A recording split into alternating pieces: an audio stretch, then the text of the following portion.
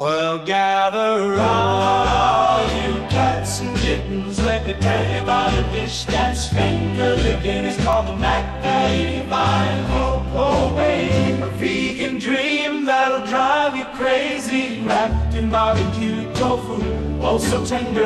With vegan mac and cheese, a heavenly blender. It's a taste you'll savor right from the start. A divine creation that'll